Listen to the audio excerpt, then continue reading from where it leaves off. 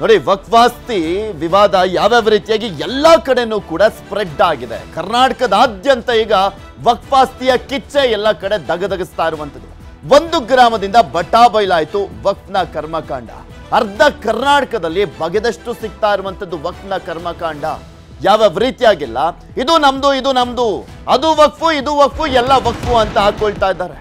ರಾಷ್ಟ್ರ ಮಟ್ಟದಲ್ಲಿ ಸುದ್ದಿ ಆಗ್ತಾ ಇದ್ದಂತೆ ಸಿಎಂ ದಿಢೀರ್ ಮೀಟಿಂಗ್ ಮಾಡಿದ್ರು. ರೈತರಿಗೆ ಕೊಟ್ಟಿದ್ದಂಥ ನೋಟಿಸ್ಗಳನ್ನು ತಕ್ಷಣವೇ ವಾಪಸ್ ಪಡೆಯಿರಿ ಅಂತಲೂ ಕೂಡ ಸೂಚನೆಯನ್ನು ಕೊಡಲಾಗಿದೆ. ರೈತರು ಸ್ವಾಧೀನದಲ್ಲಿರುವಂಥ ಭೂಮಿಯನ್ನು ಅವರಿಗೆ ಬಿಟ್ಕೊಡಿ.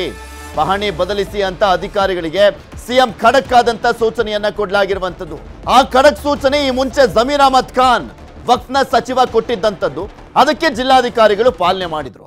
ಈಗ ಮುಖ್ಯಮಂತ್ರಿಗಳು ಕೊಡ್ತಾ ಇದ್ದಾರೆ. ಇದನ್ನು ಪಾಲನೆ ಮಾಡಬೇಕಾಗಿದೆ. ಸಿಎಂ ಸಿದ್ದರಾಮಯ್ಯ ನೇತೃತ್ವದಲ್ಲಿ ನಡೆದಂಥ ಮಹತ್ವದ ಸಭೆಯಲ್ಲಿ ತೀರ್ಮಾನವನ್ನು ಕೈಗೊಳ್ಳಲಾಗಿದೆ. ಸಚಿವರಾದಂಥ ಎಚ್ ಕೆ ಪಾಟೀಲ್, ಕೃಷ್ಣ ಬೈರೇಗೌಡ, ಕಾನೂನು ಮತ್ತು ಕಂದಾಯ ಅಲ್ಪಸಂಖ್ಯಾತ ಅಧಿಕಾರಿಗಳಿಗೆ ಎಚ್ಚರಿಕೆಯನ್ನ ಕೂಡ ಕೊಡಲಾಗಿದೆಯಂತೆ. ಇವರೇ ಹೇಳಿ, ಇವಾಗ ಬೇರೆ ಎಚ್ಚರಿಕೆ ಅಂತ ಹೇಳಿ ತೇಪೆ ಹಚ್ಚುವಂತ ಕೆಲಸವನ್ನ ಮಾಡ್ತಾ ಇದೆ ಸರ್ಕಾರ. ಈಗ ನೋಟಿಸ್ ವಾಪಸ್ ಪಡ್ಕೊಳ್ಳಿ ಅಂತ ಹೇಳಲೇಬೇಕು. ಇಲ್ಲಾಂದ್ರೆ ಹೆಂಗೆಂಗೆಲ್ಲ ಮಕ್ಕುಗಿತಾರೆ ಅಂದ್ರೆ ಜನ ಹೋದಾಗ, ಜನರ ಮುಂದೆ ಹೋದಾಗ ಬಿಡ್ತಾರ ಇಂಥ ವಿಚಾರವನ್ನ? ತಾತ ಮುತ್ತಾತ ತಲತಲಾಂತರಗಳಿಂದ ಗೈಕೊಂಬಂದಿದ್ದಂತಹ ಭೂಮಿಗಳನ್ನ ಇವ್ರು ನಮ್ದು ನಮ್ದು ಅನ್ಕೊಂಡು ವಕ್ಫಾಸ್ತಿ ಅಂತ ಹಾಕೊಂಡ್ರೆ ಯಾವ ಜನ ತಾನೇ ಸಮಾಧಾನದಿಂದ ಇರ್ತಾರೆ? ಇದ್ರ ಮತ್ತಷ್ಟು ಮಾಹಿತಿಯನ್ನ ಕೊಡ್ತಾ ಹೋಗ್ತಾರೆ ನಮ್ಮ ಪ್ರತಿನಿಧಿ ಹೆಬ್ಬಾಕ ತಿಮ್ಮೇಗೌಡರು ನಮ್ಮ ಜೊತೆ ನೇರ ಸಂಪರ್ಕದಲ್ಲಿ ಜಾಯ್ನ್ ಆಗಿದ್ದಾರೆ. ತಿಮ್ಮೇಗೌಡ್ರೆ, ವಕ್ಫಾಸ್ತಿಯ ವಿವಾದ ಇವಾಗ ಇಡೀ ಕರ್ನಾಟಕದಾದ್ಯಂತ ಹಬ್ಬಿರುವಂಥದ್ದು ಅದೇ ರೀತಿಯಾಗಿ ಆಕ್ರೋಶ ಕೂಡ ವ್ಯಕ್ತವಾಗ್ತಾ ಇದೆ ಸರ್ಕಾರದ ವಿರುದ್ಧ. ಹಾಗೆ ವಕ್ನ ಸಚಿವ ಜಮೀರ್ ಅಹಮದ್ ಖಾನ್ ಅವರ ವಿರುದ್ಧ. ಈಗ ಸರ್ಕಾರ ಯಾವ ರೀತಿಯ ಎಚ್ಚರಿಕೆಯನ್ನು ಕೊಟ್ಟಿದೆ ನೋಟಿಸ್ ಅನ್ನು ವಾಪಸ್ ಪಡೆಯುವಂತ ನಿಟ್ಟಿನಲ್ಲಿ ಮುಂದಾಗ್ತಾ ಇರುವಂತದ್ದು ಸೂಚನೆಗಳನ್ನು ಕೊಡಲಾಗಿದೆ. ಎಲ್ಲ ನೋಟಿಸ್ಗಳನ್ನು ಕೂಡ ವಾಪಸ್ ಪಡಿಬೇಕು, ಮತ್ತೆ ಯಾವುದೇ ರೀತಿಯಾದಂಥ ಕೆಲವು ತಿದ್ದುಪಡಿಗಳು ತಿದ್ದುಪಡಿಗಳು ಇದಾವೆಲ್ಲ, ಅವೆಲ್ಲವನ್ನು ಕೂಡ ತಿದ್ದುಪಡಿಯನ್ನ ಮಾಡಬೇಕು, ಆ ಮೂಲಕವಾಗಿ ರೈತರಿಗೆ ಆ ಜಮೀನನ್ನು ಬಿಟ್ಕೊಡ್ಬೇಕು ಅಂಥದ್ದೊಂದು ಮಹತ್ವದ ನಿರ್ಧಾರವನ್ನು ಇವತ್ತು ನಡೆದಂಥ ಸಿ ಎಂ ಅಧ್ಯಕ್ಷರಲ್ಲಿ ನಡೆದಂಥ ಒಂದು ಸಭೆಯಲ್ಲಿ ನಿರ್ಣಯವನ್ನು ಕೈಗೊಂಡಿರ್ತಕ್ಕಂಥದ್ದು. ಯಾಕಂತ ಹೇಳಿದ್ರೆ ಭಾಳ ಮುಖ್ಯವಾಗಿ ಈ ಬಗ್ಪಾಸ್ವಿ ವಿವಾದ ಕುರಿತಂತೆ ವಿಪಕ್ಷಗಳು ಒಂದ್ ಕಡೆಯಾಗಿ ಸರ್ಕಾರದ ವಿರುದ್ಧ ಮುಗಿಬಿದ್ದಿರ್ತಕ್ಕಂಥದ್ದು ಮತ್ತೊಂದು ಕಡೆಗೆ ರೈತ ಪರ ಸಂಘಟನೆಗಳು ಕೂಡ ಸರ್ಕಾರದ ವಿರುದ್ಧ ತೀವ್ರ ಪ್ರತಿಭಟನೆಗಿಳಿದಿದ್ವು ಇದು ಎಲ್ಲ ಒಂದು ಕಡೆಯಾಗಿ ರಾಜ್ಯ ಸರ್ಕಾರಕ್ಕೆ ಒಂದು ರೀತಿ ದೊಡ್ಡ ಮಟ್ಟದ ಡ್ಯಾಮೇಜ್ ಅಂದರೆ ತಪ್ಪಾಗ್ಲಿಕ್ಕಿಲ್ಲ. ಸೊ ಈ ಹಿನ್ನೆಲೆಯಲ್ಲಿ ಅಲರ್ಟ್ ಆದಂಥ ಮುಖ್ಯಮಂತ್ರಿ ಸಿದ್ದರಾಮಯ್ಯನವರು ಇವತ್ತು ಹಬ್ಬದ ದಿನದಂದು ಕೂಡ ಕಡತ ವಿಲೇವಾರಿ ಸಂದರ್ಭದಲ್ಲಿ ಬೊಕ್ ವಿಚಾರವಾಗಿ ಒಂದು ಮಹತ್ವದ ಸಭೆಯನ್ನು ನಡೆಸಿದ್ರು. ಈ ಒಂದು ಸಭೆಯಲ್ಲಿ ಕಂದಾಯ ಸಚಿವ ಕೃಷ್ಣ ಬೈರೇಗೌಡ, ಕಾನೂನು ಸಚಿವ ಎಚ್ ಕೆ ಪಾಟೀಲ್ ಸೇರಿದಂತೆ ಕಂದಾಯ ಮತ್ತು ಕಾನೂನು ಇಲಾಖೆ. ಮತ್ತೊಂದು ಕಡೆಯಾಗಿ ಒಕ್ಪು, ಒಕ್ಬೋರ್ಡ್ನ ಕೆಲ ಹಿರಿಯ ಅಧಿಕಾರಿಗಳು, ಸರ್ಕಾರದ ಉನ್ನತ ಮಟ್ಟದ ಅಧಿಕಾರಿಗಳು ಎಲ್ಲರೂ ಕೂಡ ಉಪಸ್ಥಿತರಿದ್ದರು ಆ ಒಂದು ಸಭೆಯಲ್ಲಿ ಸುದೀರ್ಘವಾಗಿ ಸಿ ಎಂ ಸಿದ್ದರಾಮಯ್ಯವರು ಸಭೆಯನ್ನು ನಡೆಸಿದ್ರು. ಆ ಒಂದು ಸಭೆಯಲ್ಲಿ ನೋಟಿಸ್ ಕೊಟ್ಟಂತ ಅಧಿಕಾರಿಗಳ ವಿರುದ್ಧ ತೀವ್ರವಾಗಿ ಗರಂ ಆಗಿರ್ತಕ್ಕಂಥದ್ದು ಯಾಕಂತ ಹೇಳಿದ್ರೆ ಆಗದಿರ್ಲಿ ಇದಕ್ಕೂ ಮುಂಚೆ ಇವ್ರ ಸಚಿವ ಕೊಟ್ಟಿದ್ದಂತ ಸೂಚನೆ ಮೇರೆಗೆನೆ ಅವರೆಲ್ಲರೂ ಕೂಡ ನೋಟಿಸ್ ಅನ್ನ ಕೊಟ್ಟಿದ್ದಂಥದ್ದು. ಈಗ ರೈತರಿಗೆ ಕೊಟ್ಟಿದ್ದಂತ ನೋಟಿಸ್ ಮಾತ್ರ ವಾಪಸ್ ಪಡಿಲಿಕ್ಕೆ ಸೂಚನೆ ಕೊಡಲಾಗಿದೆಯಾ? ಅಥವಾ ದೇವಸ್ಥಾನಗಳಿಗೆ ಮಠಗಳಿಗೆ ಸ್ಕೂಲ್ಗಳಿಗೆ ಮುಸ್ಲಿಮ ಕೆಲವು ಕುಟುಂಬಗಳಿಗೂ ಕೂಡ ವಕ್ಫಾಸ್ತಿ ಅನ್ನುವಂಥದ್ದು ನೋಂದಣಿ ಆಗಿತ್ತಲ್ಲ ಅದೆಲ್ಲವನ್ನು ಕೂಡ ವಾಪಸ್ ಪಡಿಲಿಕ್ಕೆ ಸೂಚನೆ ಕೊಡ್ಲಾಗಿದ್ಯಾ? ಅವರು ಸ್ಪಷ್ಟವಾಗಿ ಉಲ್ಲೇಖ ಮಾಡಿದ್ದಾರೆ, ಈ ಒಂದು ವಿಚಾರವಾಗಿ ಏನೇನು ತಿದ್ದುಪಡಿಗಳನ್ನ ಮಾಡ್ಬೋದು, ಅದೆಲ್ಲವನ್ನು ಕೂಡ ತಿದ್ದುಪಡಿ ಮಾಡಬೇಕು. ಮತ್ತೊಂದು ಕಡೆಯಾಗಿ ರೈತರಿಗೆ ರೈತರ ಹೆಸರಲ್ಲಿರ್ತಕ್ಕಂಥ ಆಚೆಗಳು ರೈತರ ಹೆಸರಿಗೆ ಉಳಿಬೇಕು.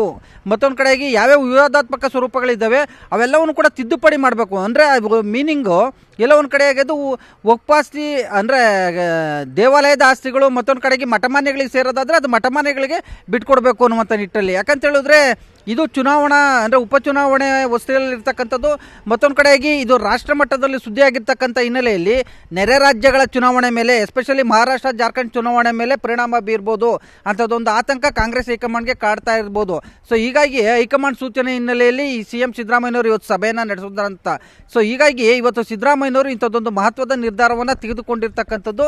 ಸೊ ಈ ಒಂದು ನಿರ್ಧಾರವನ್ನು ನೋಡೋದಾದ್ರೆ, ಅಂದರೆ ಮುಂದೆ ಈ ಒಂದು ಚುನಾವಣೆ ಮೇಲೆ ಪರಿಣಾಮ ಬೀರ್ಬೋದು ಅನ್ನುವಂಥ ಒಂದು ಆತಂಕವನ್ನು, ಅಂದರೆ ಡ್ಯಾಮೇಜನ್ನು ಕಂಟ್ರೋಲ್ ಮಾಡಿಕೊಳ್ಳುವಂಥದ್ದು ಮತ್ತೊಂದು ಕಡೆಯಾಗಿ ಹಿಂದೂ ವಿರೋಧಿ ಎನ್ನುವಂಥ ಒಂದು ಪಟ್ಟವನ್ನು ಹೆಂಗೆ ಕಟ್ತಾ ಇದ್ದಾರೆ, ಅದು, ಅದರ ಆರೋಪ ಮುಕ್ತರಾಗುವಂಥ ಒಂದು ತಂತ್ರಗಾರಿಕೆಯ ಒಂದು ಭಾಗ ಅಂತ ಹೇಳಲಾಗ್ತಾ ಇದೆ. ಯಾಕಂತ ಹೇಳಿದ್ರೆ ಇದು ರಾಷ್ಟ್ರ ಮಟ್ಟದಲ್ಲಿ ಸುದ್ದಿಯಾಗಿರ್ತಕ್ಕಂಥದ್ದು. ಸೊ ಹೀಗಾಗಿ ಇಂಥದ್ದೊಂದು ವಿವಾದವನ್ನು ತಣ್ಣಗೆ ಮಾಡಬೇಕು ಅನ್ನುವಂಥ ಒಂದು ಹೈಕಮಾಂಡ್ ಸೂಚನೆಯಲ್ಲಿ ಮುಖ್ಯಮಂತ್ರಿ ಸಿದ್ದರಾಮಯ್ಯನವರು ಇಂಥದ್ದೊಂದು ನಿರ್ಧಾರಕ್ಕೆ ಬಂದಿದ್ದಾರೆ ಅಂತ ಹೇಳಲಾಗ್ತಾ ಇದೆ. ಓಕೆ ಧನ್ಯವಾದ ತಿಮ್ಮೇಗೌಡ್ರೆ ನೀವೆಲ್ಲ ಮಾಹಿತಿಗಾಗಿ. ಮುಖ್ಯಮಂತ್ರಿಗಳೇ ರೈತರಿಗೆ ಕೊಟ್ಟಂತ ವಕ್ಫ್ ನೋಟಿಸ್ ವಾಪಸ್ಸನ್ನ ಪಡ್ಕೊಂಡ್ರಿ ಓಕೆ. ರಾಜ್ಯದ ಹತ್ತಾರು ಜಿಲ್ಲೆಗಳ ಬಡವರ ಭೂಮಿ ಮನೆಗೂ ವಕ್ಫ್ ಸೀಲು ಬಿದ್ದಿರುವಂತದ್ದು ಇಡೀ ಊರಿಗೂರೇ ಕೇರಿನೇ ವಕ್ಫಾಸ್ತಿ ಅಂತ ಸೀಲ್ ಬಿದ್ದಿದೆಯಲ್ಲ ಯಾಕೆ? ಇದನ್ನ ಮಾಡಿಸ್ತವ್ರು ಯಾರು? ಅದ್ ಹೆಂಗ್ ವಕ್ಫ್ ಬಿತ್ತು ಅಲ್ಲಿಗೆ? ಕಂಡ್ಕೊಂಡಿದ್ದಕ್ಕೆಲ್ಲ ಬೇಲಿ ಹಾರ್ಕೊಂಡು ನಮ್ದು ನಮ್ದು ಅಂತ ಹೋಗ್ತಾ ಇದಾರಲ್ಲ ಯಾಕೆ? ಸರ್ಕಾರದ ನೆರವಿನಿಂದ ಖರೀದಿಸಿದಂಥ ಜಮೀನಲ್ಲಿ ವಕ್ಫ್ ಹೆಸರು ಉಲ್ಲೇಖ ಆಗ್ತಾ ಇದೆ. ಒಬ್ಬರಿಂದ ಇನ್ನೊಬ್ರು ಖರೀದಿಸಿದಂಥ ಜಾಗವು ವಫ್ಗೆ ಸೇರಿದ್ದಂತೆ. ಒಬ್ಬರಿಂದ ಇನ್ನೊಬ್ರು ಖರೀದಿ ಮಾಡಿದಂತ ಜಾಗವು ವಫ್ಗೆ ಸೇರಿದ್ದಂತೆ. ಬ್ಯಾಂಕಿಗೆ ಅಡವಿಟ್ಟು ತಗೊಂಡಂತ ಜಮೀನಲ್ಲೂ ಕೂಡ ವಕ್ಫ್ ಹೆಸರು ಉಲ್ಲೇಖ ಆಗಿದೆ. ಇಡೀ ತಾಂಡದ ಆಸ್ತಿ ಪತ್ರಗಳಲ್ಲೆಲ್ಲ ವಕ್ಫ್ ಹೆಸರು ಬಂದಿದೆ. ಕಲಬುರಗಿ, ಚಿಂಚೋಳಿ ತಾಲೂಕಿನ ರಾಮನಗರ ತಾಂಡ ಆತಂಕದಲ್ಲಿದ್ದಾರೆ. ತಾಂಡದ ಐವತ್ತಕ್ಕೂ ಹೆಚ್ಚು ಕುಟುಂಬಗಳು. ಈಗ ಅದೇನು ಹೇಳ್ತಾರೋ ನೋಡಬೇಕು. ಹೆಂಗ್ ಬಂತು ಫಸ್ಟ್ ಹೇಳಿ ಅದನ್ನ. ವಕ್ಫ್ ಆಸ್ತಿ ಅಂತ ಉಲ್ಲೇಖ ಮಾಡಿದಿರಲ್ಲ. ಹೆಂಗ್ ಬಂತು? ಯಾರು ದಾನ ಕೊಟ್ಟಿದ್ದು? ಯಾರ ಕಾಲದಲ್ಲಿ ದಾನ ಕೊಟ್ಟಿದ್ರು? ಹಂಗಾದ್ರೆ ಇವ್ರಪ್ಪ, ಇವ್ರ ತಾತ, ಇವರ ತಲತಲಾಂತರಗಳಿಂದ ಉಳುಮೆ ಮಾಡ್ಕೊಂಡ್ ಬಂದಿದ್ದೆಲ್ಲ ಸುಳ್ಳ ಹಾಗಾದ್ರೆ ವಕ್ಫಾಸ್ತಿನ ಇವ್ರು ಗೊತ್ತಿಲ್ದಲೆ ಒತ್ತುವರಿ ಮಾಡ್ಕೊಂಡ್ಬಿಟ್ರ ಹಂಗಾದ್ರೆ? ಕಂಡ್ ಕಂಡ್ ಜಾಗ ಇಲ್ಲ, ವಕ್ಫಾಸ್ತಿ ಅಂತ ಹಾಕೊಳ್ತಾ ಇದಾರಲ್ಲ. ಪಹಣಿಲೆಲ್ಲ ಉಲ್ಲೇಖ ಆಗ್ತಾ ಇದೆಯಲ್ಲ. ಆಕ್ಚುಲಿ ಹಿಂಗೆ ಹೋದ್ರೆ ದೊಡ್ಡ ದಂಗೆನೇ ಆಗ್ಬಿಡುತ್ತೆ. ಇದು ಬರೀ ಕರ್ನಾಟಕಕ್ಕೆ ಸೀಮಿತ ಆಗಿರುವಂತ ವಿಚಾರ ಮಾತ್ರ ಅಲ್ಲ, ಇಡೀ ದೇಶದಾದ್ಯಂತ ಇದೇ ವಿಚಾರ ಚರ್ಚೆ ಆಗ್ತಾ ಇದೆ. ಯಾಕೆ? ಈಗ ಎಲ್ಲ ಕಡೆನೂ ವಕ್ಫಾಸ್ತಿ ವಕ್ಫಾಸ್ತಿ ಅಂತ ಉಲ್ಲೇಖ ಮಾಡ್ತಾ ಇದ್ದಾರೆ ಅಂದ್ರೆ, ಈ ಚಳಿಗಾಲದ ಅಧಿವೇಶನದ ಸಂದರ್ಭದಲ್ಲಿ ವಕ್ಗೆ ತಿದ್ದುಪಡಿ ತಂದಿರುವಂಥದ್ದು ಪಾಸ್ ಆಗ್ಲಿಕ್ಕೆ ಕೇಂದ್ರ ಸರ್ಕಾರ ಪಾಸ್ ಮಾಡಲಿಕ್ಕೆ ಮುಂದಾಗ್ತಾ ಇದೆಯಲ್ಲ? ಅದಕ್ಕೆ ಈಗಲೇ ನಡುಕ ಶುರು ಆಗ್ಬಿಟ್ಟಿದೆ. ಆ ಕಾರಣಕ್ಕೋಸ್ಕರ ಕಂಡ್ ಕಂಡ್ ಜಾಗ ಎಲ್ಲ ನಮ್ದು ಅಂತ ಹೇಳ್ತಾ ಇದ್ದಾರೆ ಎನ್ನುವಂಥ ಆರೋಪ ಬಿಜೆಪಿಯವರು ಮಾಡ್ತಾ ಇದ್ದಾರೆ. ನಮಗೇನು ಗೊತ್ತಾಗಿಲ್ಲ. ಈ ಒಂದು ಪಾಣಿ ಚೇಂಜ್ ಆಗೋದು ನಿಮ್ಗೆ ಏನಾದ್ರು ಮಾಹಿತಿ ಅದರ ನೋಟಿಸ್ ಏನಾದ್ರು ಇದು ವರ್ಕ್ ಪ್ರಾಪರ್ಟಿ ಇದೆ ನೀವು ಯಾಕೆ ನೋಡಿದ್ರೆ ನೋಟಿಸ್ ಏನು ಕೊಟ್ಟಿಲ್ಲ ರೀ. ಏನು ನೋಟಿಸ್ ಕೊಟ್ಟಿಲ್ಲ ಏನು ಕೊಟ್ಟಿಲ್ಲ ರೀ. ನೋಟಿಸ್ ಕೊಡ್ಲಾರ್ದ ಟೈಮಿಗೆ ಆಮೇಲೆ ಏನು ಮಾಡ್ತಾರೆ ನಮಗೆ ಒಂದು ಎರಡು ಎರಡು ಸಾವಿರ ಹನ್ನೊಂದರದಾಗ ಹತ್ತರದಾಗ ಪಾಣಿ ಚೇಂಜ್ ಆಗ್ಯದ ಸರ್ ಎರಡು ಸಾವಿರ ಹನ್ನೊಂದರದಾಗ ನೋಟಿಸ್ ಕೊಡ್ಲಕ್ಕೆ ಬಂದರು ಅವರು. ಅಲ್ಲಿ ತನಕ ನಾವು ಕೋರ್ಟಿಗೆ ಹೋಗಿದ್ದೀವಿ ರೀ ಹೈಕೋರ್ಟಿಗೆ. ನಾವು ಖರೀದಿ ಮಾಡಿದ್ದೀವಿ ರೀ ಸರ್ ಈ ಎ ಸಿ ಇಟ್ಟಿದಾಗ ಆಗಿಲ್ಲ ರೀ ನಮಗೆ. ನಾವು ಪಟ್ಟದ ಭೂಮಿ ಖರೀದಿ ಮಾಡಿ ಸಿಗ್ನೇಚರ್ ತಂದಿ ಮಗನ ಸಿಗ್ನೇಚರ್ ಅದ. ಈ ಲಗ್ನ ಬಾರಿದಾಗ ಲಗ್ನ ಠೇರಾವ್ ಮಾಡಿದ್ರು. ಆ ಲಗ್ನ ನಾವು ಇದು ಮಾಡಿದ್ದೀವಿ ರೀ. ಸರ್ಕಾರ ಗೊತ್ತಿತ್ತು ಬಿಟ್ಟಿದ್ದು ಗೊತ್ತಿಲ್ಲ. ಆದರೆ ನಮ್ಮ ಜನರ ಮಾಹಿತಿಗೆ ಇದ್ದಿಲ್ಲ ಇದು ವಕ್ಫ ಆಸ್ತಿ ಅಂತ ಕೆಲವೊಬ್ಬರಿಗೆ ಗರ್ಯಾನ್ ಗ್ರ್ಯಾಂಟ್ ಆಗಿದೆ. ಕೆಲವೊಬ್ಬರಿಗೆ ಖರೀದಿ ಮಾಡಿದ್ದಾರೆ ಕೆಲವೊಬ್ಬರಿಗೆ S C, S T board ಕಡಿದಾಗಿದೆ ಈ ಜಮೀನು ತೊಗೊಂಡ ಮೇಲೆ ಏನಪ್ಪ ಅಂದ್ರೆ ದಿಢೀರ್ ಏನಪ್ಪ ಅಂದರೆ ಎರಡು ಸಾವಿರದ ಒಂಬತ್ತು ಹತ್ತಕ್ಕೆ ದನ್ ಅಂತ ಜಿಮ್ಮಾ ಮಸೀದಿ ವಕ್ ಬೋರ್ಡ್ ಆಸ್ತಿ ಅಂತೇಳಿ ಪಾಣಿಯಲ್ಲಿ ಬಂದಾಗ ಎಲ್ಲ ಜನ ಎದೆ ಹೊಡ್ಕೊಂಡು ಕೆಲವೊಬ್ರು ಸತ್ತಾರ. ಏನೇನೋ ಆತಂಕಕ್ಕೆ ಒಳಗಾಗ್ಯಾರ. ಹೀಗಾಗಿ ಎಲ್ಲ ಜನ ಪರೇಶಾನ್ ರೀ ಸದ್ಯಕ್ಕೆ. ಅದಕ್ಕೆ ಏನು ಮಾಡ್ಬೇಕಂತ ತೋರಿಸ್ತಾ ಇಲ್ಲ. ಆಟೋಮೆಟಿಕ್ ಚೇಂಜ್ ಆಗ್ಯದ ರೀ ನಮಗೇನು ಗೊತ್ತಾಗಿಲ್ಲ. ಪಾಣಿ ಒಂದು ಪಾಣಿ ಚೇಂಜ್ ಆಗೋದು ನಿಮ್ಗೆ ಮಂಡ್ಯದಲ್ಲೂ ವಕ್ಫಾಸ್ತಿಯ ವಿವಾದ ಭುಗಿಲೆದ್ದಿದೆ. ಗೊಂದಲ ಕಾಡ್ತಾ ಇರುವಂಥದ್ದು ಜಮೀನಾಯಿತು ದೇಗುಲವೂ ಕೂಡ ಆಯಿತು. ಇದೀಗ ಸರ್ಕಾರಿ ಶಾಲೆಯೂ ಕೂಡ ವಕ್ಫಾಸ್ತಿ ಅಂತೆ. ಸರ್ಕಾರಿ ಶಾಲೆಯ ಜಾಗ ಕೂಡ ವಕ್ಫಾಸ್ತಿ ಅಂತ ಉಲ್ಲೇಖ ಮಾಡಲಾಗಿದೆ. ಶ್ರೀರಂಗಪಟ್ಟಣ ತಾಲೂಕಿನ ಚಂದಗಾಲು ಗ್ರಾಮ. ಗ್ರಾಮದಲ್ಲಿನ ಸರ್ಕಾರಿ ಶಾಲೆ ಜಾಗ ವಕ್ಫಾಸ್ತಿಯಂತೆ. ಸರ್ವೆ ನಂಬರ್ ಇನ್ನೂರ ಹದಿನೈದರ ಮೂವತ್ತು ಗುಂಟೆ ಜಾಗ, ಹತ್ತತ್ರ ಒಂದು ಎಕರೆ. ಅದು ವಕ್ಫಾಸ್ತಿ ಅಂತೆ ಸರ್ಕಾರದ ವಿರುದ್ಧ ಕಿಡಿಕಾರಿ ರಾಜ್ಯ ವಕ್ಫ್ ಮಂಡಳಿ ವಜಾಗೊಳಿಸಲಿಕ್ಕೆ ಆಗ್ರಹಿಸಲಾಗಿದೆ. ಬೆಟರು ಜನ ನಿಮ್ಮ ನಿಮ್ಮ ಆಸ್ತಿ ಪಹಣಿಯಲ್ಲೂ ಕೂಡ ಒಂದ್ಸಲಿ ಚೆಕ್ ಮಾಡ್ಕೊಂಬಿಡಿ. ಯಾರ್ಯಾರು ವಕ್ಫಾಸ್ತಿ ಅಂತ ಈಗ ಆಲ್ರೆಡಿ ಅದನ್ನ ಮಾಡ್ಕೊಂಡಿದ್ದಾರೆ ಏನೋ ಗೊತ್ತಿಲ್ಲ. ಯಾಕಂದ್ರೆ ಜಮೀರ್ ಅಹಮದ್ ಖಾನ್ ಅವರು ಹೋಗ್ ಬಂದಿದ್ದ ಕಡೆ, ಸೂಚನೆ ಕೊಟ್ಟಿರುವಂತ ಕಡೆ, ಎಲ್ಲಾ ಕಡೆನೂ ಕೂಡ ಹಿಂಗೆ ಆಗ್ತಾ ಇರುವಂತ ಕಾರಣಕ್ಕೋಸ್ಕರ ಎಚ್ಚೆತ್ಕೊಳ್ಳಿ. ನೋಡ್ಕೊಳ್ಳಿ ಫಸ್ಟ್ ನಿಮ್ ಪಹಣಿಯಲ್ಲಿ ಇದೆಯಾ ಇಲ್ವಾ ಅಂತ.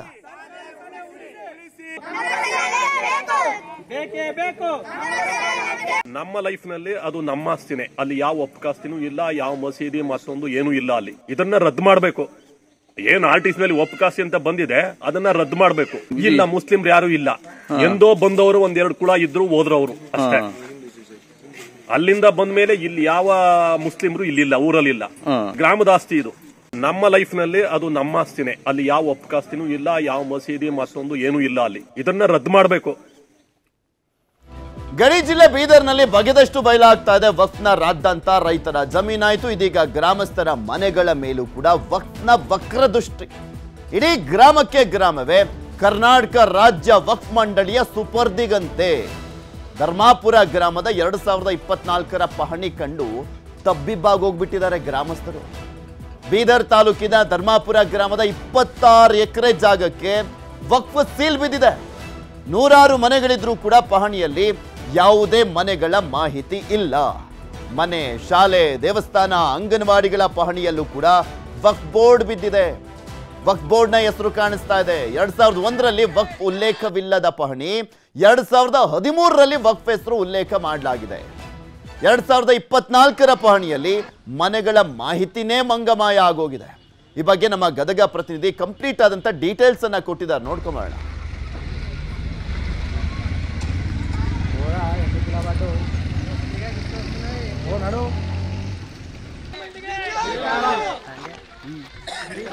ನಿಮಗೆ ನೋಡಿ ತೋರಿಸ್ತಾ ಇದೀವಿ. ಅಲ್ಲಿನ ಜನ ಎಲ್ಲ ಹೋರಾಟಕ್ಕೆ ಇಳಿದ್ರು ಬೀದಿಗೆ ಬಂದ್ರು.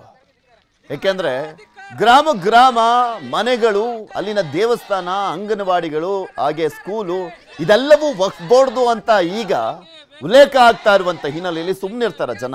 ಯಾಕೆಂದ್ರೆ ಎಷ್ಟೋ ಜನಕ್ಕೆ ಗೊತ್ತೇ ಇಲ್ಲ. ಯಾಕೆಂದ್ರೆ ಯಾವಾಗ ಗೊತ್ತಾಗುತ್ತೆ ವಕ್ವಾಸ್ತಿ ಅಲ್ಲಿ ಪಹಣಿ ತೆಗೆಸುವಂತ ಸಂದರ್ಭದಲ್ಲಿ ಯಾವಾಗ ಪಹಣಿ ತೆಗೆಸ್ತಾರೆ? ಬ್ಯಾಂಕಿಗೆ ಏನಾದರೂ ಲೋನ್ ಪಡೆಯಕ್ಕೆ ಹೋದಂತ ಸಂದರ್ಭದಲ್ಲಿ, ಅಥವಾ ಯಾರಿಗಾದ್ರೂ ಮಾರಾಟ ಮಾಡುವಂತ ಸಂದರ್ಭದಲ್ಲಿ, ಅಥವಾ ಗೌರ್ಮೆಂಟ್ನ ಯಾವುದಾದ್ರೂ ಒಂದು ಸೌಲಭ್ಯವನ್ನ ಪಡ್ಕೊಳ್ಳುವಂತ ಸಂದರ್ಭದಲ್ಲಿ ಪಹಣಿಯನ್ನ ತೆಗ್ಸಕ್ ಹೋಗ್ತಾರೆ. ಆದ್ರೆ ಅಲ್ಲಿದ್ದಂತ ಜನ ಇವಾಗ ತೆಗೆಸಿದಂತ ಸಂದರ್ಭದಲ್ಲಿ ಶಾಕ್ ಅವರಿಗೆ. ಇದೇನು ವಕ್ಫಾಸ್ತಿ ಅಂತ ಬರ್ತಾ ಇತ್ತಲ್ಲ ಅಂತ. ಯಾಕೆಂದ್ರೆ ಇಷ್ಟು ವರ್ಷದಿಂದನೂ ಕೂಡ ಅವರೇ ಮಾಡ್ಕೊಂಡು ಬರ್ತಾ ಇದ್ದಾರೆ. ಅವರೇ ಎಲ್ಲವನ್ನು ಕೂಡ ಕಂದಾಯದಿಂದ ಎಲ್ಲವನ್ನು ಕಟ್ಕೊಂಡ್ ಬರ್ತಾ ಇರುವಂಥದ್ದು. ಈ ಗ್ರಾಮಗಳು ಅಂತ ಬಂದಾಗ ಒಂದೊಂದು ಮನೆಯಲ್ಲೂ ಕೂಡ ಕಂದಾಯ ಕಟ್ತಾರೆ. ಇವ್ರ ಆಸ್ತಿ ಅನ್ನೋ ಕಾರಣಕ್ಕೆ ತಾನೇ ಕಂದಾಯ ಕಟ್ಟೋದು. ಇವ್ರ ಆಸ್ತಿ ಅನ್ನುವ ಕಾರಣಕ್ಕೆ ತಾನೇ ಲೋನ್ ಕೊಡೋದು. ಆದರೆ ಈಗ ವಕ್ಫಾಸ್ತಿ ಅಂತ ಬಂದಿದೆಯಲ್ಲ, ಕಾಲಂ ನಂಬರ್ ಹನ್ನೊಂದರಲ್ಲಿ ಸೊ ಜನ ಆಕ್ರೋಶವನ್ನು ವ್ಯಕ್ತಪಡಿಸ್ತಾ ಇದ್ದಾರೆ. ಒಂದೊಂದು ಊರಿಗೆ ಹತ್ಕೊಂಡು ಹೋಗ್ತಾ ಇದೆ. ಇದು ಹೆಂಗೆ ತಿರ್ಕೊಂಡು ಹೊಡೆಯುತ್ತೋ ಗೊತ್ತಿಲ್ಲ ರಾಜ್ಯ ಸರ್ಕಾರಕ್ಕೆ. ಯಾವ ರೀತಿಯಾಗಿ ದೊಡ್ಡ ಮಟ್ಟದಲ್ಲಿ ಹೋರಾಟಕ್ಕೂ ಕೂಡ ಹಣಿಯಾಗ್ತಾರೋ ಗೊತ್ತಾಗ್ತಾ ಇಲ್ಲ. ಆ ರೀತಿಯಾಗಿ ಕಂಡ್ ಕಂಡ ಜಾಗದಲ್ಲಿ ಈಗ ವಕ್ಫಾಸ್ತಿ ಅಂತ ಉಲ್ಲೇಖ ಆಗ್ತಾ ಇರುವಂಥದ್ದು ಆಕ್ರೋಶಕ್ಕೆ ಗುರಿ ಆಗ್ತಾ ಇದೆ. ಅದೇ ರೀತಿಯಾಗಿ ರಾಜಕೀಯವಾಗಿಯೂ ಕೂಡ ಸಹಜವಾಗಿ ಒಂದು ಅಸ್ತ್ರ ಆಗಿ ಆಗುತ್ತೆ. ಬಿಜೆ, ಬಿಜೆಪಿ ಮಾತನಾಡ್ದಲ್ಲಿ ಇನ್ಯಾವನ್ ಮಾತಾಡ್ತಾನೆ ಈ ವಿಚಾರದಲ್ಲಿ? ಯಾಕೆಂದ್ರೆ ವಿರೋಧ ಪಕ್ಷ ಆಗಿ ಅವ್ರು ಪ್ರಶ್ನೆ ಮಾಡಲೇಬೇಕಲ್ಲ, ಜನರ ಪರವಾಗಿ ನಿಂತ್ಕೊಳ್ಳೇಬೇಕಲ್ಲ, ಇವ್ರು ಮಾಡ್ತಾ ಇರುವಂತ ಕೆಲಸಕ್ಕೆ. ಅವ್ರು ಮಾತನಾಡದೆ ಹೋಗಿದ್ರೆ ಹಿಂಗೆ ಸುಮ್ಮನಿದ್ದು ಬಿಡೋರು ಏ, ವಕ್ಫಾಸ್ತಿ ಅಲ್ವಾ ಅಂತ ಹೇಳಿರೋರು. ಜಮೀರ್ ಅಹಮದ್ ಖಾನ್. ವಕ್ಫಾಸ್ತಿ ಅಲ್ವಾ? ವಫ್ಗೆ ಸೇರಬೇಕು, ಇನ್ಯಾರಿಗೆ ಸೇರಬೇಕು ಅಂತ ಮಾತನಾಡಿದ್ರು ಈ ಹಿಂದೆ. ಹಂಗೆ ಕಂಟಿನ್ಯೂ ಆಗಿರೋದಷ್ಟೇ. ಇಡೀ ಜಿಲ್ಲೆ ಬೀದರ್ನಲ್ಲಿ ಮಂಡಳಿಯ ಮಂಡಳಿಯರಾದಂಥ ಬಗೆದಷ್ಟು ಬಯಲಾಗ್ತಿದೆ ಅಂತಾನೆ ಹೇಳ್ಬೋದು. ಸರ್ಕಾರಿ ಭೂಮಿ ಏನು ಸರ್ವೆ ನಂಬರ್ ಎಂಬತ್ತೇಳು ಏನಿದೆ, ಆ ಒಂದು ಸರ್ಕಾರಿ ಭೂಮಿ ಎಲ್ಲಿ ಈಗಾಗಲೇ ನೂರು ವರ್ಷಗಳಿಂದ, ನೂರಾರು ವರ್ಷಗಳಿಂದ ಮನೆಯನ್ನ ಕಟ್ಕೊಂಡು ಇಲ್ಲಿ ವಾಸವಾಗಿರ್ತ ಇದ್ರು. ಈ ಒಂದು ವಾಸವಾಗಿರ್ತಕ್ಕಂಥ ಗ್ರಾಮದಲ್ಲಿ ನಿಮ್ಗೆ ತೋರಿಸ್ತಾ ಹೋಗ್ತೀನಿ ನಾನು. ಈ ಒಂದು ವಕ್ಫ ಮಂಡಳಿಯರಾದಂಥ ಯಾವಾಗಿಂದ ಆಯ್ತು ಅನ್ನೋದನ್ನ ನಿಮ್ಗೆ ಪಹಣಿಯನ್ನ ತೋರಿಸ್ತಾ ಹೋಗ್ತೀನಿ. ಏನು ನೀವು ನೋಡ್ತಾ ಇರ್ಬೋದು, ಎರಡ್ ಸಾವಿರದ ಒಂದು, ಎರಡರಲ್ಲಿ ಇದು ಸರ್ಕಾರಿ ಗಾಯರಾಣ ಅಂತ ಇತ್ತು. ಅದರ ಕೆಳಗಿನ ಒಂದು ಅದರಲ್ಲಿ ಏನು ಇತ್ತು ಅಂದ್ರೆ ಇದರಲ್ಲಿ ಕೆಲವು ಮನೆಗಳು ಕಟ್ಟಿರುತ್ತಾರೆ ಅನ್ನೋ ಒಂದು ಓಲ್ಡ್ ಮೆನ್ಷನ್ ಇತ್ತು. ಇದಾದ ಬಳಿಕ ಇದೇ ಉತ್ತಾರದಲ್ಲಿ ಹಣ್ಣ, ಏನು, ಹನ್ನೊಂದನೇ ಕಾಲಂ ಏನು ಬರುತ್ತೆ? ಈ ಒಂದು ಹನ್ನೊಂದನೇ ಕಾಲಂನಲ್ಲಿ ವಕ್ಪ ಮಂಡಳಿಯ, ಕರ್ನಾಟಕ ರಾಜ್ಯ ವಕ್ಪ ಮಂಡಳಿ ಯಾವುದೇ ಹೆಸರು ಇರೋದಿಲ್ಲ. ಇದಾದ ಬಳಿಕ ಎರಡು ಸಾವಿರದ ಹದಿಮೂರು ಹದಿನಾಲ್ಕರ ಪಹಣಿಯನ್ನು ನಿಮಗೆ ತೋರಿಸುವಂಥ ಪ್ರಯತ್ನ ಮಾಡ್ತೀನಿ. ನೋಡ್ತಾ ಇರ್ಬೋದು ನೀವು, ಎರಡು ಸಾವಿರದ ಹದಿಮೂರು ಹದಿನಾಲ್ಕರ ಪಹಣಿಯನ್ನು ಒಬ್ಬ ಅಜ್ಜಿ ಹಿಡ್ಕೊಂಡಿದ್ದಾರೆ. ಈ ಒಂದು ಎರಡು ಸಾವಿರದ ಹದಿಮೂರು ಹದಿನಾಲ್ಕರ ಪಹಣಿಯಲ್ಲಿ ಸರ್ಕಾರಿ ಗಾಯರಾಣ ಅಂತ ಇದೆ.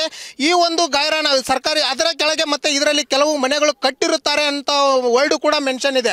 ಈ ಒಂದು ಎರಡ್ ಸಾವಿರದ ಹದಿಮೂರು ಹದಿಮೂರು, ಹದಿನಾಲ್ಕರ ಪಹಣಿಯಲ್ಲಿ ಹನ್ನೊಂದನೇ ಕಾಲಂನಲ್ಲಿ ಕರ್ನಾಟಕ ರಾಜ್ಯ ವಕ್ಫ ಮಂಡಳಿ ಅಂತ ಹೆಸರು ಮೆನ್ಷನ್ ಇದೆ. ಇಲ್ಲಿಂದ ಒಂದು ಕರ್ನಾಟಕ ವಕ್ಫ ಮಂಡಳಿ ಹೆಸರು ಇರ್ತಕ್ಕಂಥದ್ದು. ಇದಾದ ಬಳಿಕ ಕೂಡ ಗ್ರಾಮಸ್ಥರಿಗೆ ಯಾವುದೋ ಮಾಹಿತಿ ಇರಲಿಲ್ಲ ಅದರ ಬಗ್ಗೆ ತಲೆಯನ್ನು ಕೂಡ ಕೆಡಿಸಿಕೊಂಡಿರಲಿಲ್ಲ ಹಾಗಿದ್ರೆ ಇಲ್ಲಿನ ಗ್ರಾಮಸ್ಥರು ಏನು ಹೇಳ್ತಾರೆ ಅನ್ನೋದನ್ನ ಅವ್ರ ಜೊತೆ ನಾನು ಮಾತನಾಡಿಸುವಂತ ಪ್ರಯತ್ನ ಮಾಡ್ತೀನಿ. ಅಮ್ಮ, ಈಗ ನಿಮ್ಗ ಮನೆ ಕಟ್ಕೊಂಡಿದ್ದಕ್ಕೆ ಸರ್ಕಾರ ಹಕ್ಕು ಪತ್ರವನ್ನು ಕೊಟ್ಟಿದೆ. ಹಕ್ಕು ಪತ್ರ ಕೊಟ್ಟು ಈಗ ವಕ್ಪ ಮಂಡಳಿ ಆಸ್ತಿ ಇದು ನಿಮ್ಮದಲ್ಲ ಅನ್ನೋ ಒಂದು ಉತ್ತಾರದಲ್ಲಿ ವಕ್ಫ ಮಂಡಳಿ ಆಸ್ತಿ ಹೆಸರಿದೆ. ಏನು ಹೇಳ್ತೀರಿ ಇದಕ್ಕೆ? ನಾವು ಬಿಡದಿಲ್ಲ ಸರ್. ಬಿಡೋದಿಲ್ಲ ಕಟ್ಕೊಂಡೆವು ತಿಪ್ಪಲ್ ಬಿದ್ದೆವು ಸಣ್ಣ ಸಣ್ಣ ಮಕ್ಕಳವ ನಮ್ಮ ಭೂಮಿ ಇಲ್ಲ. ಈ ಇಷ್ಟು ಮಾಡಿ ಕಟ್ಕೊಂಡೆವು ಜಿಂದಗಿ ಮಾಡ್ಲತ್ತೇವೆ. ನಮಗೆಲ್ಲ ಬಂದದ ಎಲ್ಲ ಕಟ್ಲತ್ತೇವೆ ಎಲ್ಲ ಸರಿಯಾಗಿ ನಡ್ಲತ್ತೇವೆ. ಹಾಂ ಧರ್ಮಾಪುರ. ಅಲ್ಲ ಸರ್ಕಾರನ ನಿಮ್ಗೆ ಹಕ್ಕು ಪತ್ರ ನಿಮ್ಮದೇ ಇದು ಜಾಗ ಅಂತ ಕೊಟ್ಟಾಗ ಮತ್ತಿದು ನಿಮ್ಮದು ಅಲ್ಲ ಅನ್ನೋದು ಸರ್ಕಾರ ಸರ್ಕಾರ ಸರ್ಕಾರ ಹೇಳಿಲ್ಲ ಸರ್ ಇದು ಗೌರ್ಮೆಂಟ್ ಅದ ಕಟ್ಕೊಂಡೆವು. ನಮ್ಗೆ ಯಾರು ಹೇಳಿಲ್ಲ. ಅವ್ರು ಕೊಟ್ಟಾರ. ಹ್ಞೂ ಬ್ರದರ್ ಈಗ ಈ ವಕ್ಪ ಮಂಡಳಿ ನಿಮಗೆ ಯಾವಾಗ ಈ ಪಹಣಿಯಲ್ಲಿ ವಕ್ಪ ಮಂಡಳಿ ಹೆಸರು ಸೇರ್ಪಡೆ ಆಗಿರೋದು ಗಮನಕ್ಕೆ ಬಂತು? ಸರ್ ನಮಗೆ ಇವಾಗ ಜೂನ್ ತಿಂಗಳಲ್ಲಿ ಬಿಜಾಪುರದಲ್ಲಿ ಒಂದು ಘಟನೆ ನಡೀತಲ್ಲ ಆ ಘಟನೆ ನೋಡಿದಾಗ ವಕ್ತ ಒಂದು ವಕ್ ವಕ್ ಭೂತ ಎಲ್ಲಿವರೆಗೆ ಬಂದಿದೆ ನೋಡ್ಕೊಳ್ಳಿ ಅಂತಂದೇಳಿ ಮಾನ್ಯ ಶಾಸಕರು ಬಸ ಬಸನಗೌಡ ಪಾಟೀಲ್ ಯತ್ನಾಳ್ ಅವರು ಹೇಳಿದಾಗ, ಎಲ್ಲ ಕರ್ನಾಟಕ ತುಂಬ ಅವೇರ್ನೆಸ್ ಮೂಡಿಸಿದಾಗ ನಾವು ನಮ್ಮ ನಮ್ಮ ಪಾಣಿ ತೆಗೆಸಿ ನೋಡಿದ್ದೀವಿ ಸರ್. ಅವಾಗ ನಮಗೂ ವಕ್ ಮಂಡಳಿ ಬಂದಿದೆ ಅಂತಕ್ಕಂಥದ್ದು ನಮ್ಮ ಪಾಣಿಯಲ್ಲಿ ಸಹಿತ ನಮ್ಗೆ ಅವಾಗ ಗೊತ್ತಾಯ್ತು ಸರ್. ಅವಾಗಿನಿಂದ ನಮ್ಮ ಇಡೀ ಗ್ರಾಮಸ್ಥರು ಆತಂಕಗೊಳಗಾಗಿದ್ದಾರೆ ಸರ್ ಭಾಳಷ್ಟು ಆದ್ದರಿಂದ ಎರಡು ಸಾವಿರ ಸರ್ ಒಂದು ವೇಳೆ ಅವರೇ ಸರ್ಕಾರನೇ ಹಕ್ಕುಪತ್ರ ಕೊಟ್ಟು ಮತ್ತು ಸರ್ಕಾರನೇ ವಕ್ ಆಸ್ತಿಗೆ ಕೊಡ್ತದಂದ್ರೆ ಸರ್, ಮತ್ತು ಅವ್ರನ್ನೂ ಹಾಕಿ ಕೊಟ್ಟು ಮತ್ತು ಅವರೇ ಹಕ್ಕು ಕಿತ್ಕೊಳ್ಳೋಕ್ಕೆ ಯಾವ ಅಧಿಕಾರ ಇದೆ ಸರ್ ಅವರಿಗೆ? ಈ ವಕ್, ಕಾಲಂ ನಂಬರ್ ಹನ್ನೊಂದರಲ್ಲಿ ಒಕ್ಕಾಸ್ತಿ ಪರಭಾಷೆ ನಿದೇಶಿ ನಿಷೇಧಿಸಿದೆ ಅಂತಕ್ಕಂಥದ್ದು ತೆಗೆದು ಹಾಕಬೇಕು ಅಂತೇಳಿ ಈ ಮೂಲಕ ಮನವಿ ಮಾಡ್ತೀವಿ. ಒಂದು ವೇಳೆ ಈ ಒಕ್ಕಾಸ್ತಿ ಅಂತಕ್ಕಂಥದ್ದು ತೆಗೆದು ಹಾಕದಿದ್ದರೆ ನಾವು ತೀವ್ರ ಉಗ್ರ ಹೋರಾಟ ಮಾಡಲಿಕ್ಕೆ ಸಿದ್ಧರಿದ್ದೀವಿ ಸರ್. ಅಂದರೆ ಇದಿಷ್ಟು ಗ್ರಾಮಸ್ಥರ ಮಾತು. Durgappa Hosamani news eighteen Kannada Bidar. ದೇವಸ್ಥಾನ ತಾಲೂಕು ಕಚೇರಿ ಜಿಲ್ಲಾ ಆಟದ ಮೈದಾನ ಪಾರ್ಕ್ಗಳನ್ನೂ ಕೂಡ ಕಬಳಿಸಲಿಕ್ಕೆ ವಕ್ ಬೋರ್ಡ್ ಪ್ರಯತ್ನವನ್ನ ಮಾಡ್ತಾ ಇದೆ. ಚಿಕ್ಕಮಗಳೂರಲ್ಲೂ ಕೂಡ ವಕ್ ರಾಜಾಂತದ ಬಗ್ಗೆ ಸಿ ಟಿ ರವಿ ಅವರು ಮಾತನಾಡಿದ್ದಾರೆ. ಸಿ ಟಿ ರವಿ ಅವರು ಮಾತನಾಡ್ತಾ ದೇವಸ್ಥಾನ, ತಾಲೂಕು ಕಚೇರಿ, ಇದು ಬಂದ ಎಲ್ಲ ಆಸ್ತಿಗಳನ್ನ ಕೂಡ ವಕ್ಫ್ ಬೋರ್ಡ್ ಕಬಳಿಕೆ ಮಾಡಲಿಕ್ಕೆ ಪ್ರಯತ್ನ ಪಡ್ತಾ ಇದೆ. ವಕ್ಫ್ ಬೋರ್ಡ್ ಅಕ್ರಮದ ಹಿಂದೆ ಸಿದ್ದರಾಮಯ್ಯ ಇದ್ದಾರೆ. ಹಿಂದೂಗಳ ವೋಟ್ ಬೇಕಾದ್ರೆ ಸಿಎಂ ಸಿದ್ದರಾಮಯ್ಯ. ಬೇಕಾಗ್ತಾ ಅಂದ್ರೆ ಹಿಂದೂಗಳ ವೋಟ್ ಬೇಕು ಸಿದ್ದರಾಮಯ್ಯನವರಿಗೆ. ಮುಸ್ಲಿಂ ವೋಟ್ ಬೇಕಾದ್ರೆ ಅವ್ರಿಗೆ, ಅವರನ್ನ ಸಿದ್ದರಾಮುಲ್ಲಾ ಆಗ್ತಾರೆ ಅವರು ಅಂತ ಹೇಳ್ತಾ ಇದ್ದಾರೆ. ಅಂದ್ರೆ ಹಿಂದೂಗಳ ವೋಟ್ ಬೇಕಾದ್ರೆ ಸಿಎಂ ಸಿದ್ದರಾಮಯ್ಯ ಆಗ್ತಾರೆ. ಮುಸ್ಲಿಂ ಓಟ್ ಬೇಕು ವೋಟ್ ಬೇಕಾದ್ರೆ ಸಿದ್ದರಾಮುಲ್ಲಾ ಆಗ್ತಾರೆ ಅಂತ ಸಿ ಟಿ ರವಿ ಆಕ್ರೋಶವನ್ನ ವ್ಯಕ್ತಪಡಿಸಿದ್ದಾರೆ. ಚಿಕ್ಕಮಂಗ್ಳೂರಿಗೂ ಕಾಲಿಟ್ಟಿದೆ. ಇತ್ತೀಚೆಗೆ ಕೆಲವು ಒಂದು, ಒಂದೂವರೆ ತಿಂಗಳ ಹಿಂದೆ ಒಫ್ ಖಾತೆ ಸಚಿವರಾಗಿರ್ತಕ್ಕಂಥ ಶ್ರೀ ಜಮೀರ್ ಅಹಮದ್ ಅವರು ಜಿಲ್ಲೆ ಅಧಿಕಾರಿಗಳನ್ನು ಕರೆದು ಆರ್ ಟಿ ಸಿಯಲ್ಲಿ ನಮೂದು ಮಾಡಬೇಕು, ಖಾತೆ ಇಡಬೇಕು, ಯಾವ್ಯಾವುದನ್ನು ಅಂದರೆ ಚಿಕ್ಕಮಗಳೂರು ತಾಲೂಕು ಆಫೀಸ್ ಎದುರುಗಡೆ ಇರುವಂಥ ಜಾಗ ಸರ್ಕಾರಿ ದಾಖಲೆಗಳಲ್ಲಿ ಹದಿನೆಂಟು ಇಂಟು ಎಂಬತ್ತೊಂಬತ್ತು. ಬಡ ಮಕಾನ್ ಅಂತಿದೆ. ಹದಿನೆಂಟು ಇಂಟು ಎಪ್, ಎಂಬತ್ತೊಂಬತ್ತು. ಹದಿನೆಂಟು ಅಡಿ ಮತ್ತು ಎಂಬತ್ತೊಂಬತ್ತು ಅಡಿ ಬಡ ಮಕಾನ್ ಅನ್ನಂತಿದೆ. ಅವರೀಗ ಅತಿಕ್ರಮಿಸಿಕೊಂಡಿರೋದು ಹತ್ತತ್ರ ಒಂದು ಎಕರೆಗೂ ಹೆಚ್ಚು ಜಾಗವನ್ನು ಅತಿಕ್ರಮಿಸಿಕೊಂಡಿದ್ದಾರೆ. ಕ್ಲೈಮ್ ಮಾಡ್ತಾ ಇರೋದು ಹಾಲಿ ತಾಲೂಕ್ ಕಚೇರಿಯು ಬಡ ಮಕಾನಿಗೆ ಸೇರಿದ ಜಾಗ. ಪಕ್ಕದಲ್ಲಿ ನೆಲ್ಲೂರು ಮಠಕ್ಕೆ ಸೇರಿದ ಜಾಗವೂ ಕೂಡ ಬಡ ಮಕಾನಿಗೆ ಸೇರಿದ ಜಾಗ ಅಂತ ಕ್ಲೈಮ್ ಮಾಡ್ತಾ ಇದ್ದಾರೆ. ಅದು ಚಿಕ್ಕ ರಾಜ್ಯದಲ್ಲಿ ವಕ್ಫ್ ವಿವಾದದಿಂದ ರೈತರಿಗೆ ಸಮಸ್ಯೆ ಬಗ್ಗೆ ಕೇಂದ್ರದ ಕದ ತಟ್ಟಲಿಕ್ಕೆ ಪ್ರತಿಪಕ್ಷ ಬಿಜೆಪಿ ನಿರ್ಧಾರ ಮಾಡಿದೆ. ವಕ್ಫ್ ಕಾಯ್ದೆ ಜಂಟಿ ಸಂಸದೀಯ ಸಮಿತಿ ಅಧ್ಯಕ್ಷರಾಗಿರುವಂತ ಜಗದಾಂಬಿಕಾ ಪಾಲ್ಗೆ ಪತ್ರವನ್ನ ಬರೆಯೋದಾಗಿ ಆರ್ ಅಶೋಕ್ ಅವರು ಹೇಳಿದ್ದಾರೆ. ರಾಜ್ಯದಲ್ಲಿ ವಕ್ ಮೂಲಕ ರೈತರ ಜಮೀನು ಕಬಳಿಸುವಂತ ಸಂಚು ನಡೀತಾ ಇದೆ. ನಮ್ಮ ಭೂಮಿ, ನಮ್ಮ ಹಕ್ಕು ಹೆಸರಿನಲ್ಲಿ ಮೋದಿ ಅವರಿಗೆ, ಜಗದಾಂಬಿಕಾ ಪಾಲ್ ಅವರಿಗೆ ಪತ್ರವನ್ನ ಬರೆದು ರಾಜ್ಯಕ್ಕೆ ಭೇಟಿ ನೀಡಲಿಕ್ಕೆ ಮನವಿಯನ್ನ ಮಾಡ್ತೀವಿ ಅಂತ ಹೇಳಿದ್ದಾರೆ. ಅಶೋಕ್ ಅವರು, ಆ ಒಂದು ಜಂಟಿ ಸದನ ಸಮಿತಿ ಕೂಡ ರಚನೆ ಆಗಿದೆ. ಅವರೊಂದು ಒಂಬತ್ತು ರಾಜ್ಯಗಳಿಗೆ ಹೋಗ್ತಾ ಇದ್ದಾರೆ, ಆದರೆ ನಮ್ಮ ರಾಜ್ಯದ ಹೆಸರಿಲ್ಲ ಅದರಲ್ಲಿ. ಜಾರ್ಖಂಡು, ಹರಿಯಾಣ ಇಂಥ ಕಡೆ ಒಂದು ಒಂಬತ್ತು ರಾಜ್ಯಕ್ಕೆ ಹೋಗ್ತಾ ಇದ್ದಾರೆ. ಸೊ ಹೀಗಾಗಿ ನಮ್ಮ ರಾಜ್ಯಕ್ಕೂ ಭೇಟಿ ಕೊಡಿ ಅನ್ನುವಂಥ ನಿಟ್ಟಿನಲ್ಲಿ ನಾವು ಮನವಿ ಮಾಡ್ಕೊಳ್ತೀವಿ ಅಂತ ವಿರೋಧ ಪಕ್ಷ ನಾಯಕರಾಗಿರುವಂಥ ಆರ್ ಅಶೋಕ್ ಅವರು ಹೇಳಿದ್ದಾರೆ. ಈಗಾಗಲೇ ತನಿಖಾ ವರದಿಯಲ್ಲಿರೋ ರೀತಿ ಲಕ್ಷಾಂತರ ಕೋಟಿ ಲೂಟಿ ಮಾಡಿದ್ದಾರೆ. ಈಗ ಆ ಲೂಟಿ ಜೊತೆ ಬಡವರ ಜಮೀನನ್ನ ಲೂಟಿ ಮಾಡಕ್ಕೆ ಹೋಗ್ತಾ ಇದ್ದಾರೆ. ಅದಕ್ಕೆ ನಾನು ಜಗದಾಂಬಿಕಾ ಪಾಲ್ ಅವರಿಗೆ ಪತ್ರ ಬರಿತಾ ಇದ್ದೀನಿ. ನೀವು ದಯವಿಟ್ಟು ಕರ್ನಾಟಕಕ್ಕೆ ಬರಬೇಕು. ಈ ರೈತರ ಮನವಿಯನ್ನ ಸ್ವೀಕಾರ ಮಾಡಿ ರೈತರಿಗೆ ನ್ಯಾಯ ಕೊಡಬೇಕು. ಇಲ್ಲ ಅಂತ ಹೇಳಿದ್ರೆ ದೇವಸ್ಥಾನ, ಮಠ ಮಂದಿರಗಳು, ರೈತರು, ಬಡವರು ಎಸ್ ಸಿ ಎಸ್ ಟಿ ಜನಾಂಗ ಯಾರು ಉಳಿಯಕ್ಕೆ ಸಾಧ್ಯನೇ ಇಲ್ಲ. ಎಲ್ಲ ಬೋರ್ಡ್ ಆಸ್ತಿ ಬರೀತಾರೆ ಅಂತ ಹೇಳಿ ಪತ್ರನೂ ಕೂಡ ನಾವು ಬರೀತೀರಿ. ನಮ್ಮ ಬೋರ್ಡಲ್ಲಿ ಈಗಾಗಲೇ ಕೇಂದ್ರ ಸರ್ಕಾರ ವಕ್ಫ್ ನಿಯಮಕ್ಕೆ ತಿದ್ದುಪಡಿ ತರ್ತಾ ಇದೆ. ಅದಕ್ಕೂ ಮುನ್ನ ಸಾವಿರಾರು ಎಕರೆ ವಫ್ಗೆ ಕೊಡ್ಲಿಕ್ಕೆ ಹುನ್ನಾರ ನಡೀತಾ ಇದೆ. ವಕ್ಫ್ ಸಭೆ ನಡಾವಳಿಯಲ್ಲಿ ಸಿಎಂ ಸೂಚನೆ ಅಂತಿದೆ. ತೇಜಸ್ವಿ ಸೂರ್ಯ ಅವರ ಮಾತಿದೆ. ವಕ್ಫ್ ಅದಾಲತ್ ನಡೆಸಲಿಕ್ಕೆ ಕಾನೂನಿನಲ್ಲೂ ಕೂಡ ಅವಕಾಶ ಇಲ್ಲ. ವಕ್ಫ್ ಅದಾಲತ್ ಸಿದ್ದರಾಮಯ್ಯ ಸರ್ಕಾರದ ಸಂಶೋಧನೆ.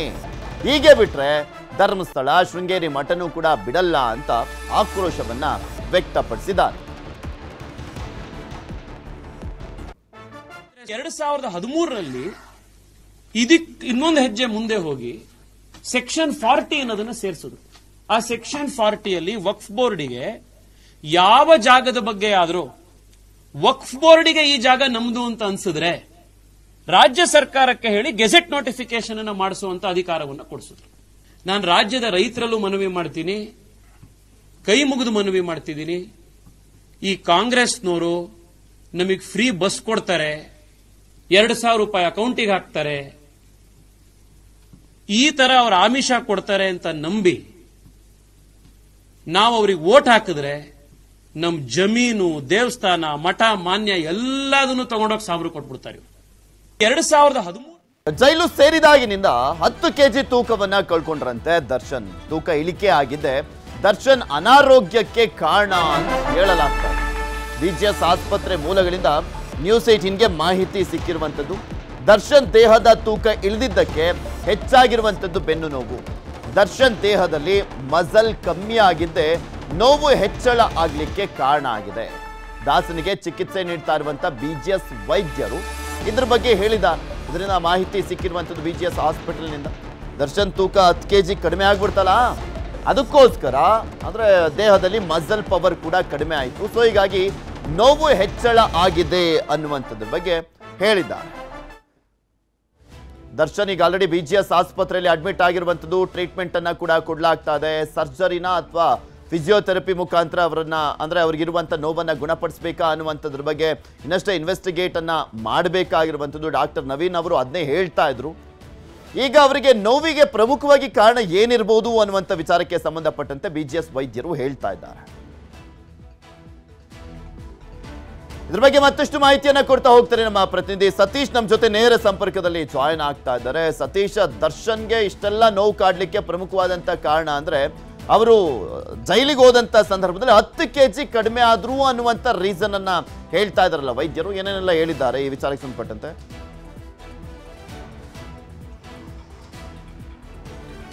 ಎಸ್ ಪೃಥ್ವಿ, ಏನು ಸದ್ಯ ದರ್ಶನ್ ಬೆನ್ನು ನೋವಿನ ಚಿಕಿತ್ಸೆಗಾಗಿ ಈಗಾಗಲೇ ಬಿ ಜಿ ಎಸ್ ಆಸ್ಪತ್ರೆಗೆ ದಾಖಲಾಗಿದ್ದಾರೆ. ಸೊ ಬೆಂಗಳೂರಿನಲ್ಲಿ ಜೈಲಲ್ಲಿ ಇದ್ದಂತಹ ಸಂದರ್ಭದಲ್ಲಿ ದರ್ಶನ್ ಅವರಿಗೆ ಬೆನ್ನು ನೋವು ಕಾಣಿಸಿರಲಿಲ್ಲ. ಆದರೆ ಬಳ್ಳಾರಿಗೆ ಹೋದಂಥ ಸಂದರ್ಭದಲ್ಲಿ ಯಾಕೆ ಅವರಿಗೆ ಒಂದು, ಆ ಒಂದು ನೋವು ಹೆಚ್ಚಾಯಿತು? ಎಸ್ಪೆಷಲಿ ಕಾಲಿಗೆ ಎಲ್ಲ ಯಾಕೆ ಸಮಸ್ಯೆ ಆಯಿತು ಅನ್ನುವಂಥದ್ದನ್ನ ನಾವು ಗಮನಿಸಿದಂಥ ಸಂದರ್ಭದಲ್ಲಿ ಅದಕ್ಕೆ ಸಂಬಂಧಪಟ್ಟ ಹಾಗೆ ನಾವು ಒಂದಷ್ಟು ವೈದ್ಯರನ್ನು ಸಂಪರ್ಕ ಮಾಡಿದಾಗ ನಮಗೆ ಸಿಕ್ಕಂತಹ ಮಾಹಿತಿ ಅಂದರೆ ಕೆಲವು ಸಲ ತೂಕ ಜಾಸ್ತಿ ಆಗೋದು ನಮಗೆ ಸಮಸ್ಯೆ ಆಗೋದ್ರ ಜೊತೆಗೆ ಕಮ್ಮಿ ಆಗೋದು ಕೂಡ ಕೆಲವು ಸಲ ಸಮಸ್ಯೆ ಆಗುತ್ತೆ. ಸೊ ಆ ನಿಟ್ಟಿನಲ್ಲಿ ಈಗ ದರ್ಶನ್ ಅವ್ರಿಗೂ ಅದೇ ಆಗಿದೆ ಅನ್ನುವಂಥದ್ದು. ಅವರು ಬೆಂಗಳೂರಿನಲ್ಲಿ ಅಂದರೆ ಈ ಒಂದು ಪ್ರಕರಣದಲ್ಲಿ ಕೊಲೆ ಆರೋಪಿಯಾಗಿ ಜೈಲಿಗೆ ಹೋಗಿದ್ದಕ್ಕಿಂತ ಮುಂಚೆಯಲ್ಲೂ ಕೂಡ ತುಂಬ ಫಿಟ್ ಆಗಿ ಅಂದ್ರೆ ಸ್ವಲ್ಪ ದಪ್ಪವಾಗಿದ್ರು ಅದರ ಜೊತೆಗೆ ನೂರ ಹತ್ತಕ್ಕೂ ಹೆಚ್ಚು ಕೆ ಜಿ ತೂಕದಲ್ಲಿ ಇದ್ದಂಥ ವ್ಯಕ್ತಿ ಅವರು. ಆದರೆ ಬಳ್ಳಾರಿಗೆ ಹೋದಂಥ ಸಂದರ್ಭದಲ್ಲಿ ಅವರು ಒಂದು ಹತ್ತು ಕೆ ಜಿ ಸಣ್ಣ ಆಗಿದ್ರು. ಅದನ್ನು ಕೂಡ ಅವರ ವೈದ್ಯರೇ ಒಂದು ಕೋರ್ಟ್ಗೆ ಸಬ್ಮಿಟ್ ಮಾಡಿದಂಥ ಸಂದರ್ಭದಲ್ಲಿ ಹೇಳಿದರು, ಇಷ್ಟು ಕೆ ಜಿ ತೂಕ ಕಮ್ಮಿ ಆಗಿದ್ದಾರಂತೆ ಸೊ ಆ ಒಂದು ಸಮಸ್ಯೆ, ಅಂದರೆ ತೂಕ ಕಮ್ಮಿ ಆದ್ದರಿಂದ ಅವರ ಎಲ್ ಒನ್ ಮತ್ತು ಎಸ್ ಒನ್, ಎಲ್ ಫೈ ಮತ್ತು ಎಸ್ ಒನ್ ಏನಿದೆ, ಆ ಸುತ್ತಮುತ್ತಲಿನ ಅಂದರೆ ಸೊಂಟದ ಸುತ್ತಳತೆಯಲ್ಲಿರುವಂತಹ ಮಾಂಸಖಂಡಗಳ ಒಂದು ಬಲ ಬಲ ಮತ್ತು ಅದರ ಮಾಂಸಖಂಡಗಳು ಕೂಡ ಕಮ್ಮಿ ಆದ ಕಾರಣ ಅವರಿಗೆ ಆ ನೋವು ಉಲ್ಬಣ ಆಗೋದಕ್ಕೆ ಜಾಸ್ತಿ ಆಗಿದೆ. ಸೊ ಈ ಒಂದು ಚಿಕಿತ್ಸೆಗೆ ಫಿಸಿಯೋಥೆರಪಿಲೂ ಕೂಡ ಪರಿಹಾರ ಇದೆ. ಜೊತೆಗೆ ಒಂದು ಸರ್ಜರಿಗೂ ಕೂಡ ಹೋಗ್ಬೋದು. ಆದರೆ ಫಿಸಿಯೋಥೆರಪಿಗೆ ತುಂಬ ಲಾಂಗ್ ಟರ್ಮ್ ಅಂದರೆ ಮೂರರಿಂದ ಆರು ತಿಂಗಳುಗಳ ಸಮಯಾವಕಾಶ ಬೇಕಾಗಿರುತ್ತೆ. ಆದರೆ ಫಿಸಿಯೋಥೆರಪಿಯನ್ನು ಹೊರತುಪಡಿಸಿ ಸರ್ಜರಿಗೆ ಹೋದರೆ ಕೇವಲ ಮೂರು ತಿಂಗಳಲ್ಲೇ ಫಿಟ್ ಆಗ್ತಾರೆ. ಆದರೆ ಯಾವುದೇ ಒಂದು ರೀತಿಯ ಸಮಸ್ಯೆಯಲ್ಲಿ ಏನಕ್ಕೆಂದರೆ, ಇದು ಸ್ಪೈನಲ್ ಕರ್ಗ್ ಅಂದರೆ ಅವರ ಮೂಳೆಗೆ, ಬೆನ್ನು ಮೂಳೆಗೆ ಯಾವುದೇ ಸಂಬಂಧಪಟ್ಟಂತಹ ಒಂದು ಆಪರೇಷನ್ ಅಲ್ಲ. ಅದು ಇದು ನರ್ವ್ ಸಿಸ್ಟಮ್ಗೆ ಸಂಬಂಧಪಟ್ಟ ಆಪರೇಷನ್. ಆದ್ದರಿಂದ ಕೇವಲ ಒಂದು ಮೂರು ತಿಂಗಳಲ್ಲಿ ಒಂದು ಆಪರೇಷನ್ ಆದ ನಂತರ ಸಂಪೂರ್ಣವಾಗಿ ಬೆಡ್ ರೆಸ್ಟ್ ಮಾಡಿದ ನಂತರ, ಸೊ ಸಂಪೂರ್ಣವಾಗಿ ಫಿಟ್ ಆಗ್ತಾರೆ. ಅನ್ನುವಂಥ ವಿಚಾರವನ್ನ ವೈದ್ಯರು ಹೇಳಿರುವಂತದ್ದು ಪೃಥ್ವಿ. ಇವರಿಗೆ ಎಲೆಕ್ಷನ್ ಟೈಮಲ್ಲಿ ಮಾತ್ರ ಅಳು ಬರೋದು. H D K Nikhil ಕಣ್ಣೀರಿಗೆ D C M D K Shivakumar ಅವರು ತಿರುಗೇಟನ್ನ ಕೊಟ್ಟಿದ್ದಾರೆ. ಜನತಾದಳಕ್ಕೆ ಭವಿಷ್ಯ ಇಲ್ಲ ಅಂತ ಹೇಳಿದ್ದಾರೆ D C M D K Shivakumar. ಕಣ್ಣೀರನ್ನ ಹಾಕಿದಂತ ವಿಚಾರಕ್ಕೆ ಸಂಬಂಧಪಟ್ಟಂತನೂ ಕೂಡ ಪ್ರಸ್ತಾಪವನ್ನು ಮಾಡ್ತಾ ಎಚ್ ಡಿ ಕುಮಾರಸ್ವಾಮಿ ಅವರ ಕುಟುಂಬಕ್ಕೆ ತಿರುಗೇಟನ್ನ ಕೊಟ್ಟಿದ್ದಾರೆ. ಇವರಿಗೆ ಎಲೆಕ್ಷನ್ ಬಂದ್ರೆ ಸಾಕು, ಕಣ್ಣೀರ್ ಬಂದ್ಬಿಡುತ್ತೆ ಅಂತ ಹೇಳಿದ್ರು.